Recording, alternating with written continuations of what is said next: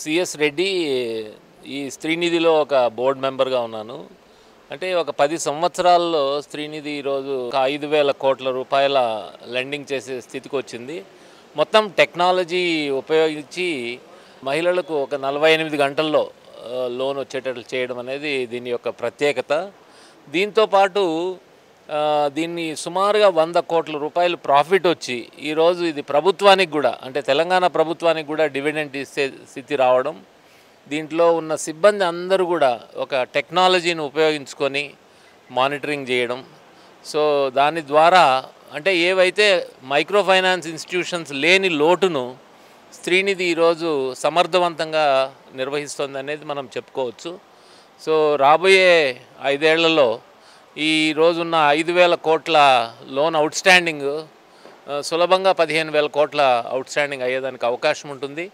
మహిళా సంఘాలు ఏవైతే ఉన్నాయో గ్రామీణ ప్రాంతాల్లో పట్టణ ప్రాంతాల్లో ఆ సంఘాల్లో ఉన్న సభ్యులందరికీ కూడా బ్యాంకులు ఇచ్చే రుణాలతో పాటు స్త్రీనిధి కూడా వాళ్ళు చేసుకునే వ్యాపారాల కోసం వాళ్ళ యొక్క ఆర్థిక అవసరాల కోసం రుణాలు ఇచ్చే ఒక అత్యుత్తమమైన సంస్థ. దేశంలోనే బెస్ట్ ఆర్గనైజేషన్ అనే విధంగా చేస్తోంది ఈరోజు. సో ఈరోజు ఈ సర్వసభ్య సమావేశంలో ఇంకా మనం ముందుకు ఎలా వెళ్ళాలి అనే దాని మీద ఎక్కువ చర్చించడం జరిగింది. మీరు చూశారు ఈ మీటింగ్ను మొత్తము మహిళలే నడిపించారు.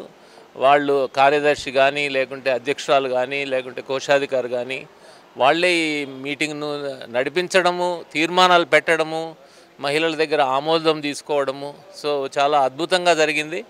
మంత్రి గారు కానీ లేకుంటే సెక్రటరీ గారు కానీ మేనేజింగ్ డైరెక్టర్ ఆఫ్ శ్రీనిధి అందరూ కూడా దీన్ని చాలా సమర్థవంతంగా నిర్వ నిర్వహించారు. సో శ్రీనిధిని మనము ఈ సందర్భంగా అభినందించాను తను ఆలోచన మొదలైనప్పటి నుంచి ఇన్ఫ్యాక్ట్ ఆ కాన్సెప్ట్ పేపర్ రాసిన వాళ్ళలో నేను ఒకడిని పదేళ్ళ క్రితం రాసి ఈరోజు మనము ఈ స్థాయికి ఎదుగుతుంది అనే అనుకోలేదు. కానీ అనుకోని విధంగా అద్భుతమైన విజయాలు సాధించి ముఖ్యంగా మహిళా సాధికారత కోసం ఆర్థిక చేపు చేకూర్పు కోసం ఆ, స్త్రీనిధి చాలా అద్భుతమైన ఇన్నోవేటివ్ ప్రోగ్రామ్స్ చేస్తుంది.